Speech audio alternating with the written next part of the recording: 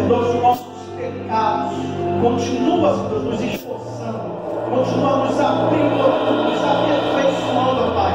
Que nessa noite o Senhor venha nos revigorar, venha renovar a aliança, Senhor, que nós fizemos contigo, através desse pão, através desse vinho, ó Pai, renovar as nossas forças, para que possamos viver a vida que o Senhor tem para cada um de nós.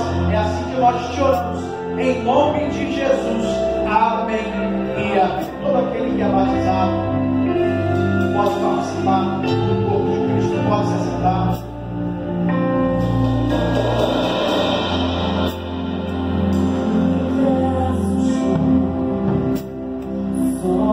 Derramou